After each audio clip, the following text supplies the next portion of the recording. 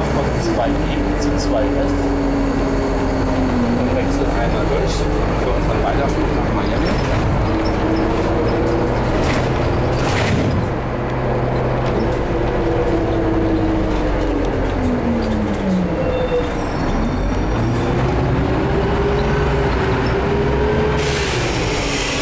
Schon gleich eine schöne Flughafenbesichtigung, wo wir jetzt überall rumfahren.